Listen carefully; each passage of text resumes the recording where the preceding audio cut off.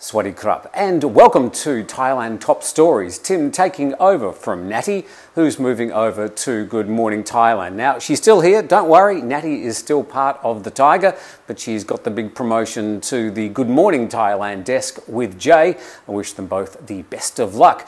I'll be taking over the news desk for today's well, every day's morning uh, top stories program. In the meantime, we're talking about the bars and the nightlife fighting back in Thailand. They may be open sooner rather than later. Also, the Prime Minister is denying that he's holding on to power uh, for the next 20 years. All that's coming up in today's Thailand top stories. Facing enormous pressure from entertainment and nightlife workers and businesses, the National Security Council Secretary General is hinting that lifting the bans on bars and nightlife will be up for discussion at this Friday's double CSA meeting. He noted that the PM understands and sympathises with those in the industry, but also worries about the COVID 19 situation as infections are still high and the country has more broadly reopened its borders to international tourists. Businesses and workers affected by the shutdown since April have become increasingly frustrated and vocal about their plight, participating in protests and presenting petitions to government officials. The NSC official suggested that the committee may relent and unpopular rules barring nightclubs, pubs, bars, karaoke, and other nightlife venues from opening could be softened or lifted. The current ruling would delay the reopening of bars and nightlife until January the 15th next year. Revenue from tourism in 2022 is expected to reach 1.5 trillion baht after the government approved the promotional budget for next year. TAT Governor Yuthassak Supasorn has had the crystal ball out again and imagined a revival in the next 12 months, which would reach around 50% of the last full year of tourism before the COVID pandemic. Get ready for Visit Thailand 2022 Amazing New Chapters, which is aimed at marketing, well, amazing new chapters. But the new chapters look suspiciously like the old chapters beaches, temples, food, and, well, more beaches. But packaged up in swish new extended length ads, which will be broadcast at targeted tourist markets around the world. And the Minister for Sport and Tourism has also launched the Centre for Emergency Situation related to tourism and sports this week. He told Nation Thailand that the new agency will be able to assist tourists as the numbers start to grow. Sounds a bit like the tourist police that's been in force for some two decades already. The Minister says it will be a central agency that provides solutions to domestic and foreign tourists in Thailand who run into problems or need assistance. Yep, that's the tourist police. Thai PM Prayut Chan-o-cha is denying criticism that he's clinging to power to see through the government's 20 year national strategy. Yesterday, the PM said poverty, injustice, and inequality are unresolved fundamental problems and claimed that measures to address the issues are part of the national strategy.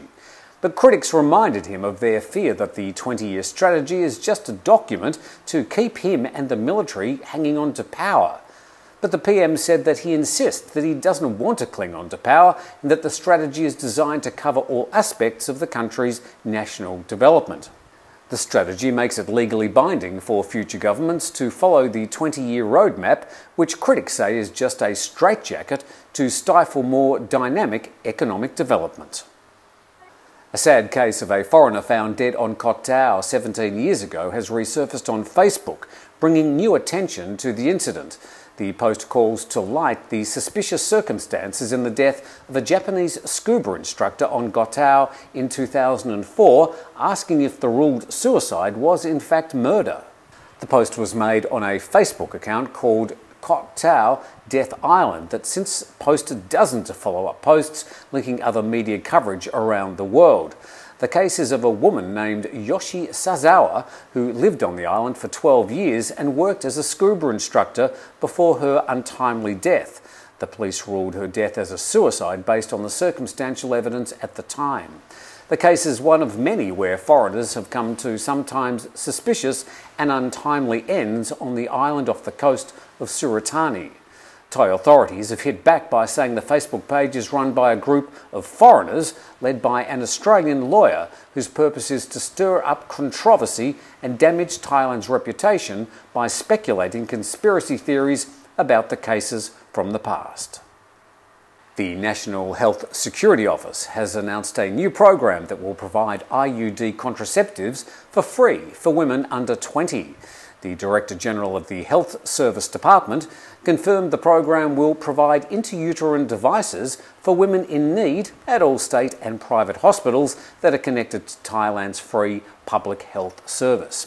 An IUD, the small T shaped device made of plastic that's inserted into the uterus, is an effective form of birth control. The program to provide free IUD con contraception is aimed at reducing unwanted pregnancies, according to the Director General, especially those in young women under the age of 20 years old. A new NIDA poll has surveyed people about the government's handling of COVID 19 and the reopening. The poll found that people felt the economy was the same or slightly better, valued health over the economy, and were overwhelmingly afraid of COVID 19 worsening after the reopening. The survey interviewed 1,320 people over the age of 18 with various occupations and levels of education across Thailand. The poll found that about half the people surveyed were satisfied with the government's measures to control COVID 19, but many were concerned that the infection rates remained high and vaccination rates still too low, and that opening to foreigners could bring more COVID 19 and even new strains into Thailand. Speaking about the economy, some 48% of respondents felt it remained the same. Asked if they were concerned COVID could get worse over the next month, 76% said yes. Asked what they weighed as more important, health or the economy, 59% said health, 28% said the economy. Well, that's all the main news stories for Thailand Top Stories today. Don't forget that Natty has moved over to Good Morning Thailand, so join her and Jay today and every day, Monday to Friday. You can find all the latest stories at thethaiger.com. Please subscribe to the channel, that really helps us and keeps the YouTube gods happy. But for now, you're up to date on the Thaiger.